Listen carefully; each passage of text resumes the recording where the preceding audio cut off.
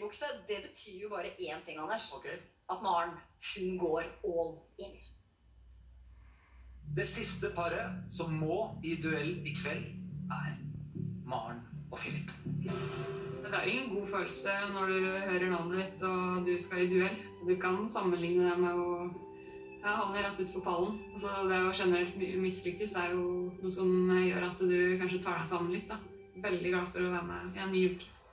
Denne uken er jo filmkveld. Og jeg har fått filmen eh, 'Grusom av meg' til sangen 'Happy' av Farrell Pharrell Williams. Skikkelig morsom film. Spesielt eh, de her minions da, som er veldig søte, små, artige figurer. Planen er jo å være en sånn en ute på dansegulvet. Jeg tror det blir skikkelig kult. For jeg føler at jeg kan relatere meg veldig til en sånn figur. Da. Nå er jeg glad og fornøyd og litt klønete og ja, helt lik meg. Her. Der, der, der. Vent, nå skal jeg bare ta armen. Ok. Den veien snurrer du.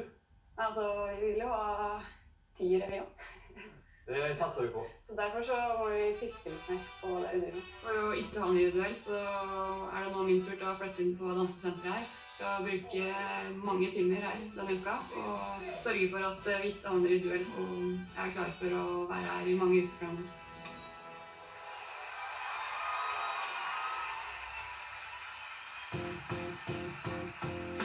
dancing queen.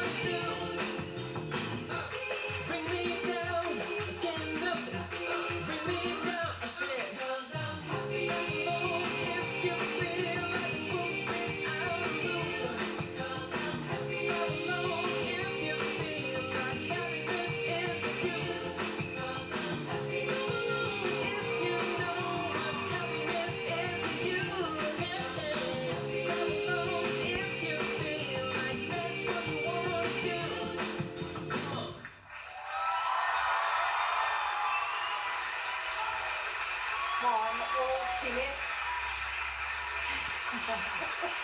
En happy million. Hvordan var det å danse jive, Kjempeartig og veldig artig med Åh, sånn trøkk i studio. Ja. Ja.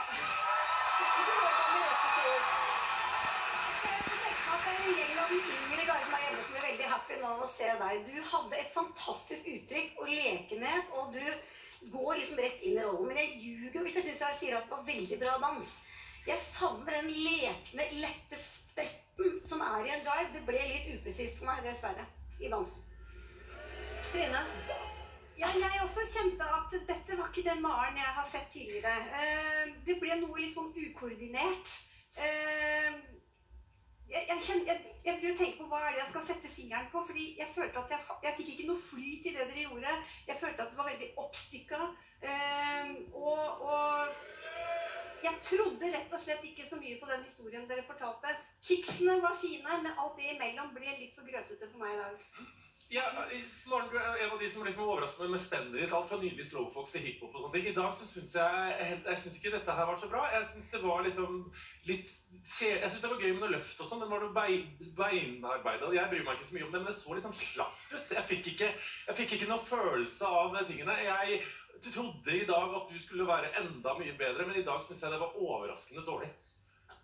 Ikke en veldig happy gjeng eh, bak dommerbordet der. Nei, nei, nei. Sånn er det. Vi får um, ja, hva skal jeg si, Vi har stått på, vi også. Så vi får prøve mer. Altså, det er jo, det er jo dårlig gjort, barn, når du på en måte har kledd deg ut som minion, og så får du tilbakemeldinga her. Ja, nå har vi gått all in, for å si det sånn. Nå, Men eh, ja, nei, altså vi Ja, som jeg sa, står på. Og vi eh, jobber med det vi skal. Så ja, nei, vi eh, kjører på videre. Men folk må være stemme, tenker jeg. For det de har veldig lyst til å være med. Vi skal først få poeng, Maren. Vi må først se hvordan det har gått uh, i dag. Det ble 23 poeng sist gang. Vi skal se hvor uh, mye poeng de gir i dag. Trine Deli Kleve. Fem. Morten Hegseth. Seks. Merete Mørk Linjære. Fire. Du legger deg altså sist eh, sammen med Dennis i dag, eh, Maren. Du var i duell sist gang. Eh, Hvordan kjennes dette her? Jo, vi har masse trening i å være i duell, så jeg tenker at det får det løs. Så vi får kjøre på. Det har du rett i. Og da skal jeg få stille samme spørsmål til deg som jeg gjorde til Magnus. OL-gull eller Minion? Svaret er vel ganske, klart. Ja, jeg kan si det sånn. Det, det var en litt bedre følelse å vinne OL-gull, men Ja, det er det jeg tenkte. Du. Men så lett hvis dere der hjemme har lyst til å redde Maren ut av duellen, så er det bare å eh, stemme på tallet 11 til 26 400. Ja, veldig bra jobba. All in på Maren og Philip i kveld.